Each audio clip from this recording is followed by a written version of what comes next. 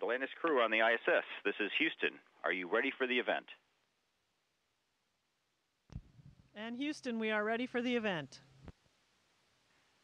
Fox News Radio. This is Mission Control Houston. Please call the Atlantis crew on the ISS for a voice check.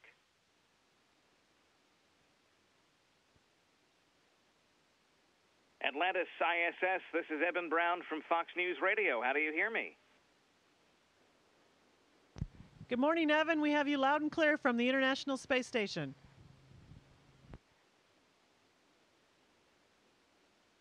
Oh, good morning, uh, Dr. Magnus, Commander Ferguson. Thank you for speaking with me this morning. Firstly, uh, how's the mission going?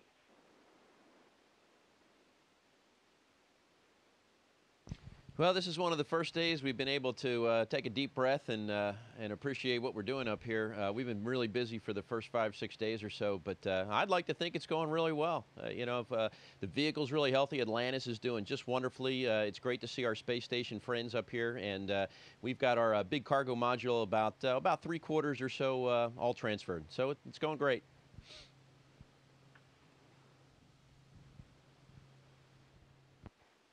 Commander Ferguson, uh, you mentioned uh, Atlantis is doing well, but how did she uh, hold up with uh, launch and ascent and, and her journey to the space station and uh, the thermal protection system? And you know, how, how's her how's her health?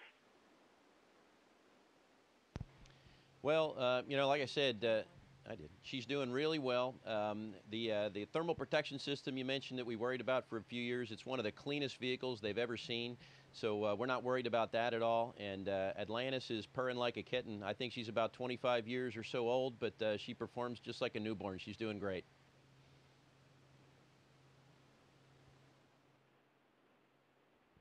And Dr. Magnus, it's your first time back to the space station since your stay uh, late 2008, early 2009. How's the station looking now? What's different about it? Well, for one thing, it's a lot bigger since I've been uh, gone. They've added uh, three modules and, and a cupola, and the cupola is just spectacular. It's almost like being on a spacewalk without being in the suit. You've got a great view of the Earth, but it really feels like home, I have to admit.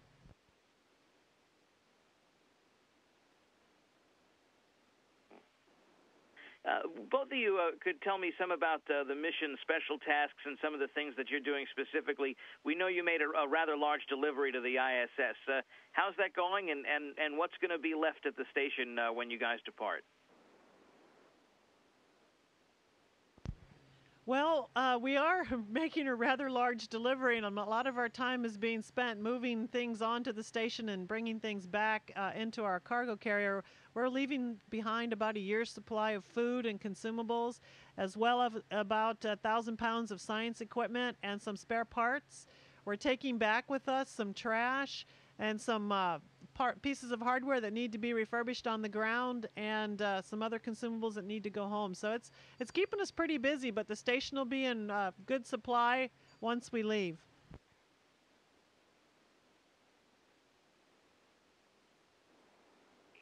It, seems that uh, the shuttle um, has been so helpful in, in able, you know, being able to bring up all these things and bringing back down the uh, uh, the refuse, if you will. How's the station going to get by without shuttle, being that uh, this is the last time shuttle can do this?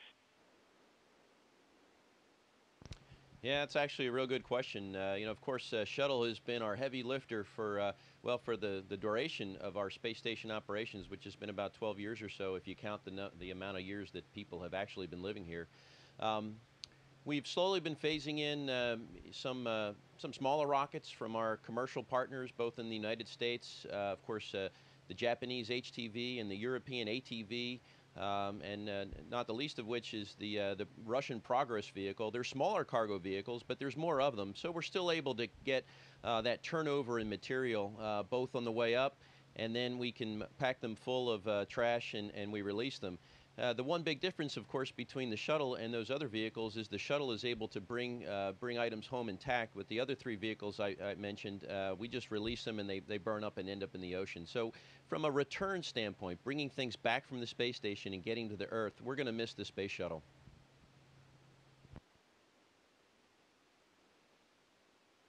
Well, you know, the, the two of you have had uh, a great vantage point because you've been obviously involved in in flying the shuttle and, and building the space station. What is that like when you you sit down and you think about it and you go, "Wow, I get to do this kind of stuff." And what do you tell your family? What do you tell your friends about it? I mean, this is uh, an amazing adventure that not many people get to do, and and, and you two are, are pretty lucky. We are indeed very fortunate to have had the experiences that we've had. And I remember a moment when I was up here on Expedition 18, I was just going about my normal routine. And in the course of one day, I talked to Moscow, I talked to Germany, I talked to Japan, and I talked to our two control centers in Houston and the one in Huntsville. And then I stopped for a second and I did have one of those moments of realization. It's like, wow, look what we did. We built this huge, huge monster laboratory orbiting the Earth using country, you know, with cooperation from countries all over the world, and and here I am living on it. It was just one of those moments that you have that, it, like you're speaking about, that just it's it just strikes you that wow, this is really uh, just incredible.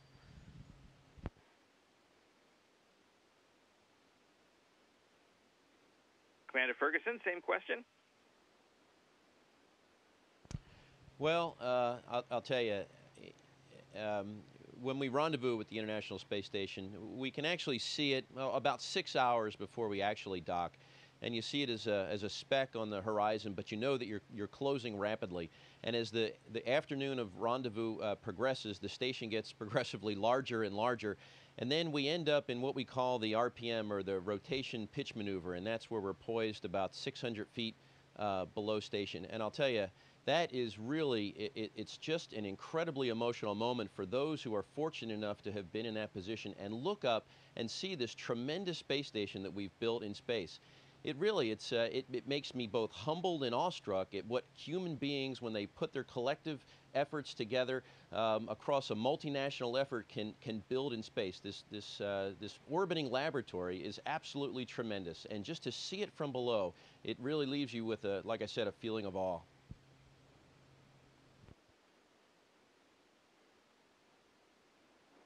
Commander Ferguson, Dr. Magnus, I believe our window is closing. Uh, thank you so much for spending a, a few moments uh, with us, and uh, have fun up there. Uh, soak it all in, and we'll see you back on the ground in Florida.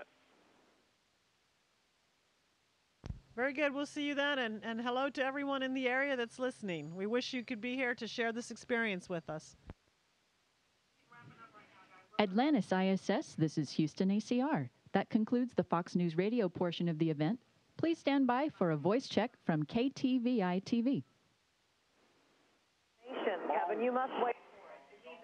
Crews, uh, this is KTVI. We're coming to you in about 10 seconds here. Last space shuttle flight will now get some time off. Yeah, the crew of four, including Belleville native Sandy Magnus, will squeeze in a little more. Stand by, stand by. International Space Station this morning before they can kick back and relax a little bit.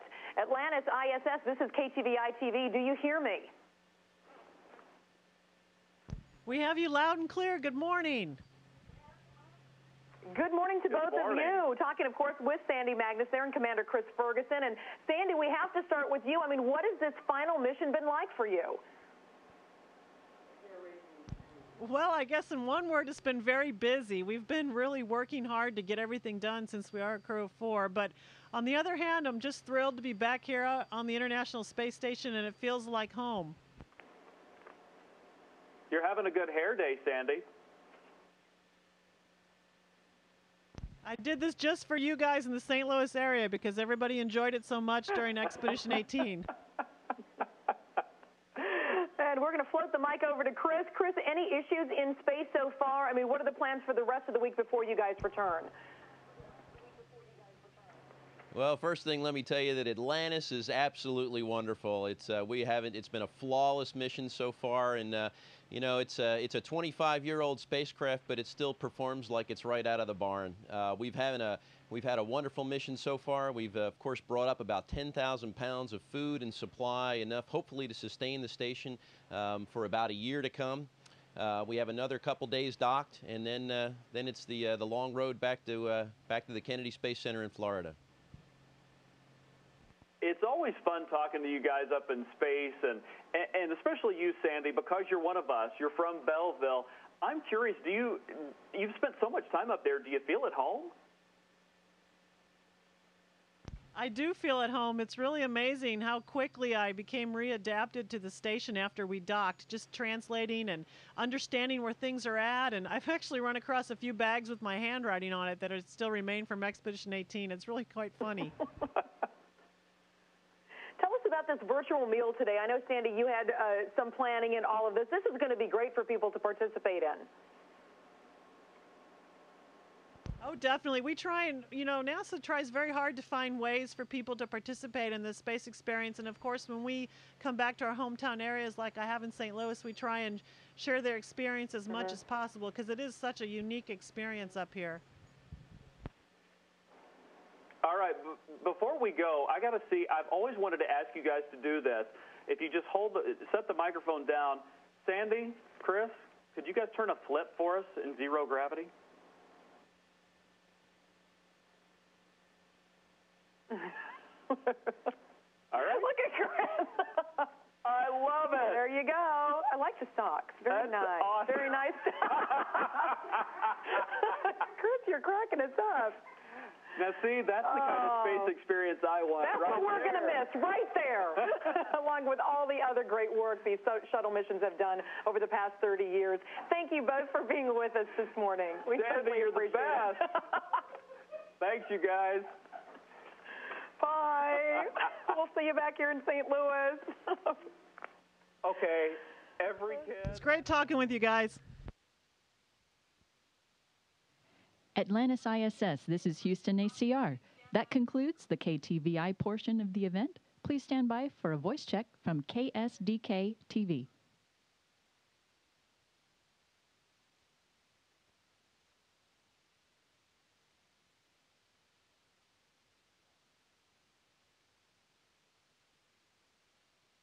Pop of showers south and southwest of St. Louis this afternoon. The odds favor just a mix of sun and clouds, comfortably warm temperatures this afternoon, and a nice little breeze out of the east at about 5 to 10 miles per hour, mid to upper 80s for highs. So I don't think we can top that compared to where we've been lately weather-wise. This is nice.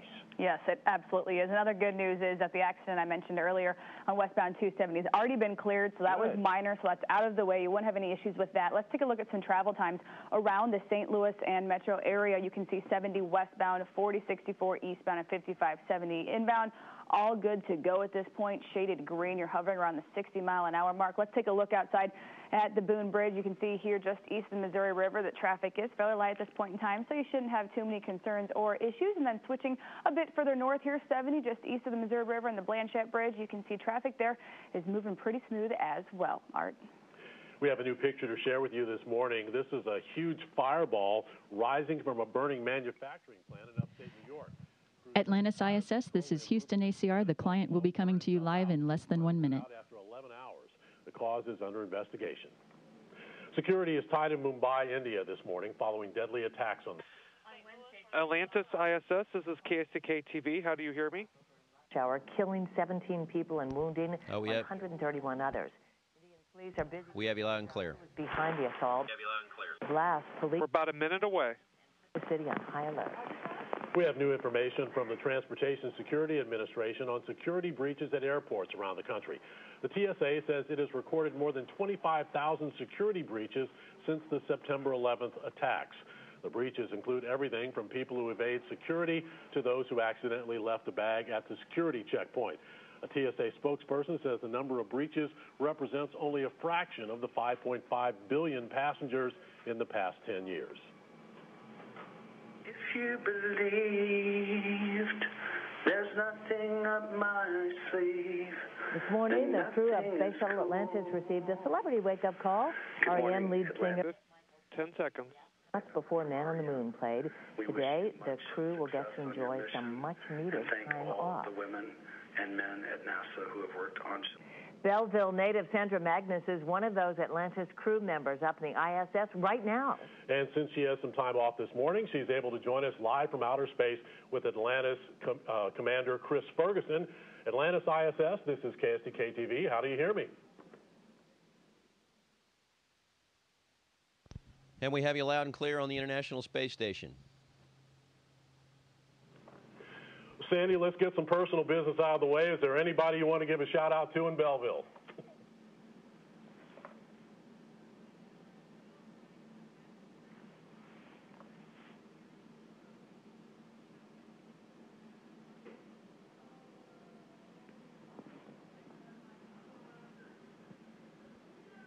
Yeah, I just want to say hello to everybody in the area, my family and my friends. Uh, it's a really nice time up here. I wish it could be here. A lot of conversation about this being the final shuttle flight. I'm wondering, is it bittersweet at all? Pessimists say the U.S. is in danger of losing its leadership in space. Optimists say retiring the shuttle program opens up new opportunities. Tell our viewers why they should care about the future of the U.S. in space.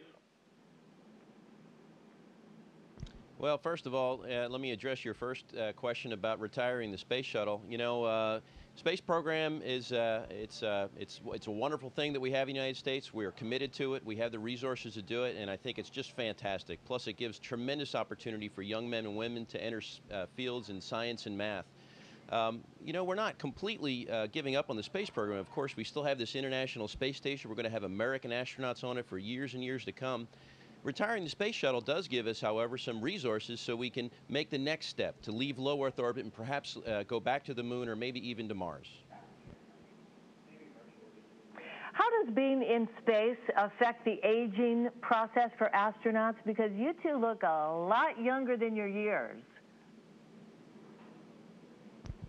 Well, I don't know how it affects the aging process, but you certainly do feel good up here. Um, it's amazing, really. I think one of the things I found about spaceflight was coming back to Earth and feeling what gravity is like and how much it's just pulling you down to the planet and weighing you down. And of course, up here we're in free fall, we're floating around in zero G, and it's it's a lot of fun and uh, probably makes us look a little better too. well, talk a little bit about the life of an astronaut on the uh, space shuttle. One day you're spacewalking, the next day you're hauling trash or fixing a toilet. You've got a variety of tasks on this mission. Absolutely, not the least of which is to transfer about 10,000 pounds of food and supply over to the space station. Um, let me comment just a little bit on Sandy. Of course, she was here uh, for about four and a half months as a part of Expedition 18. And uh, one of the first things I noticed, one of the uh, the first nights that we uh, we kind of all uh, set up our sleeping bags and went to sleep, was the, the other three crew members. They were a little restless. They tossed, they turned, they had a hard time, including myself. I looked over at Sandy. She was sleeping soundly, all nestled in her sleeping bag like she had never left. She's so incredibly comfortable up here, and uh, it's just it's great to have her here and great to have her part of this crew. Well, we are so sorry we're out of time, but Chris Ferguson and Sandy Magnus, thank you so much for joining us and keep up the good work. We certainly shall. And uh, everyone, thank St. Louis, thanks for your support and keep tuned into NASA. We're going to be doing great things. We'll do. Our time right now is 617, still ahead. The Atlantis ISS, this is Houston ACR. Thank you. That concludes the event. Thank you, Fox News Radio, KTVI TV, and KSDK TV. Atlantis crew on the ISS, we are now resuming operational audio communications. Great job.